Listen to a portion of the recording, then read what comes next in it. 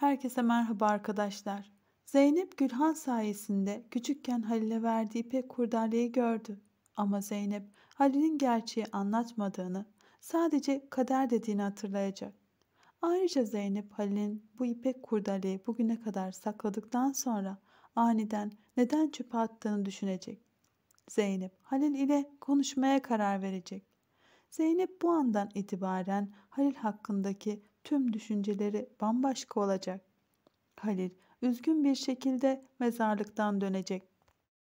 Halil Zeynep ile konuşmadan hemen oradan uzaklaşacak. Zeynep Halil'i görünce heyecanlanacak ve Zeynep elini kalbine götürecek. Belki de Halil'in aslında Zeynep'in çocukluk aşkı olduğu ortaya çıkacak. Zeynep Halil'i merak ettiğini ve nereye gittiğini soracak. Halil Zeynep'i kendinden uzaklaştırmak istiyor. Bu nedenle Halil Zeynep'e kaba davranacak. Halil nereye gittiğini, Zeynep'in bilmesine gerek olmadığını söyleyecek. Zeynep, Halil'in kimseye haber vermeden gittiğini, bu nedenle merak ettiğini söyleyecek. Halil Zeynep'e beni merak etme diyerek odadan çıkmak isteyecek. Zeynep Halil'in bu davranışına üzülecek.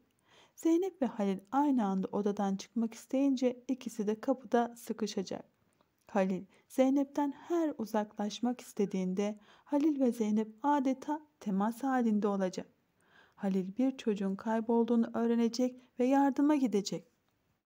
Zeynep de Halil ile gitmek isteyecek ama Halil Zeynep'in gelmesini istemeyecek. Zeynep geçmişte Halil'e bu konuda yardım ettiğini ve çevreyi çok iyi bildiğini söyleyecek. Halil Zeynep'in ormanı çok iyi bildiğini hatırlayacak ve Zeynep'in gelmesine bunun için izin verecek.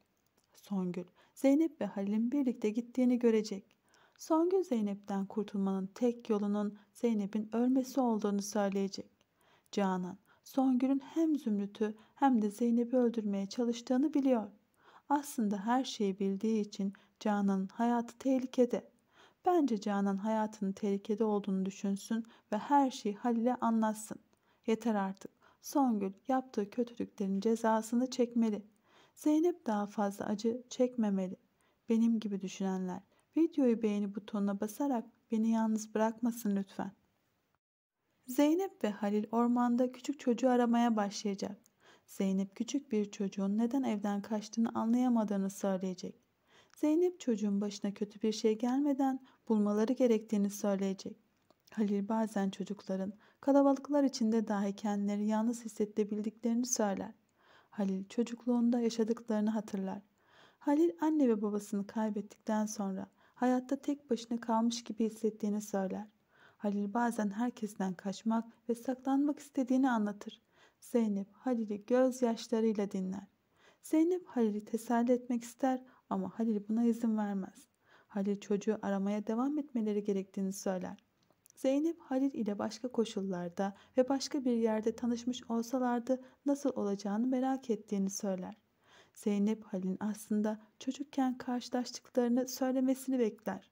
Ama Halil Zeynep'e istediği cevabı vermez. Zeynep yürürken aniden Halil'in elini yanlışlıkla tutar. Halil Zeynep'e şaşkınlıkla bakar. Zeynep utanır ve elini çeker ve yürümeye başlar. Zeynep utanarak yürüdüğü için ayağa kayar ve Zeynep hop düşer. Halil Zeynep'i kucağında taşımak zorunda kalır. Zeynep henüz Halil söylemese de hem çocukluğunda hem de şu anda Zeynep'e sürekli yardım ettiğini düşünür. Zeynep artık Halil'e bambaşka duygularla bakıyor. Halil ve Zeynep'in birbirlerine bakışlarını beğenenler yoruma kalp emojisi koymayı unutmayın lütfen. Halil kaybolan çocuğun bulunduğu haberini alır. Zeynep artık yürüyebileceğini söyler. Halil Zeynep'e kolunu uzatır ve koluna tutunmasını ister. Zeynep ve Halil çiftliğe dönerken Zeynep Halil ile konuşur. Zeynep kaybolan çocuğun yaşadıkları hakkında konuşur ama Halil söylenen her şeyi kendisine söylenmiş gibi yorumlar. Zeynep çocuk kalbinin suçluluk gibi ağır bir duyguyu taşıyamayacağını söyler. Zeynep sevginin her şeyi iyileştireceğinden bahseder. Zeynep bazen bir bakışın, bazen de küçük bir dokunuşun sevgiyi kalbinde hissetmesine neden olacağını söyler. Zeynep bu konuşma yaparken eliyle Halil'in kalbine dokunur. Halil sanki elektrik çarpmış gibi olur. Halil hem heyecanlanır hem de heyecanlandığı için öfkelenir ve arabanın frenine basar.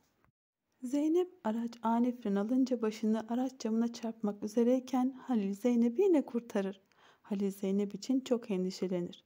Maalesef Halil bir kez daha aklı ve kalbi arasında gelip gider.